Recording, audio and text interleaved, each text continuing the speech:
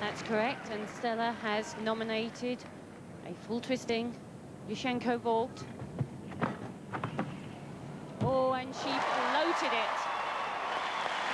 It's a very technical vault. It's very important that she's precise in this round off, that her hands hit the horse correctly, and she's able to.